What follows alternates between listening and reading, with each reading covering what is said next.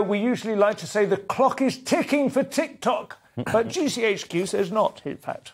No, so the director of GCHQ, which is the government agency that deals with all communications on the internet and everything like that, uh, Jeremy Fleming, he said he would encourage young people to use TikTok despite a campaign pledge by the Prime Minister Liz Truss to crack down on the Chinese video app and companies like it. So, um, yeah, uh, there is concern that, that China is seeking to impose its values uh, in strategic areas of science and technology. And I think TikTok forms part of a of a sort of you know we're almost in a cold war mm. with China, and this the whole of the West, America as well, is in, in a cold war. It's a third with, opium war. Yeah, yeah, and, they, and TikTok is it's more substance. addictive. Yeah, it's yeah. like children. The average amount of time spent is an hour and a half a day. That's insane. Wow. You could watch a Bond movie. But they do time. flick. I've, I've, looked at it a couple of times. Jonathan I have been talking about trying to mm. chop up some of my content and put Stay it on tuned. there.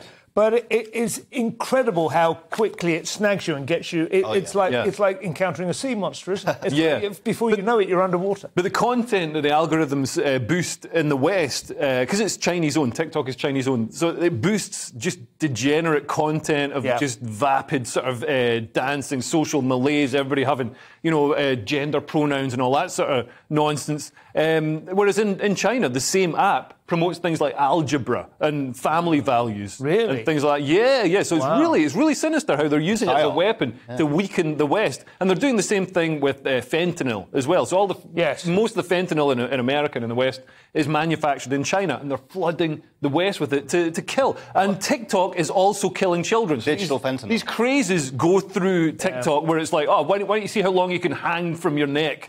You know, literally stuff like that. Oh, I know, I know. And I mean, you might even say, I mean, to put it, put it, push it to an extreme, that their whole c- capacity for fast-moving consumer goods. You know, Yeah. I mean, they just addicted us to being able to anaesthetise ourselves with cheap consumer goods. We should all go off grid. yeah, Move to the woods. absolutely. Yeah. I so. If you see TikTok in your child's phone, smack that phone out of its hands. Yeah. Smack the child. Oh, no, we don't. But GCHQ man, he says no. Just use it. Just think before you use it. Well, that that's nothing, is it? Somebody wants to that watch teenagers dance. That's what I'm saying. I'm sure he's great. You, ha- you know for a fact that um, I saw two interesting things. I mean, I've, we've known for years that people like Zuckerberg and Jobs and uh, Gates don't even let their kids have smartphones Yeah. until they're at least 13. Yeah. Somebody else said online the other day, I think it was Rockefeller he was talking about, John, John D. Rockefeller, wealthiest man in history, you know, but like uh, adjusted for inflation. Um, basically didn't let his children out the house until they were seven. He had them homeschooled, and all their all their tutors were like handpicked by him, Wow. and they were not exposed to any like uh, contrary or uh, conflicting ideas or ideologies that he wouldn't agree with or hadn't explicitly signed off until they were seven, and then they were allowed to go and mingle with Right. their peers. And as a result, he says.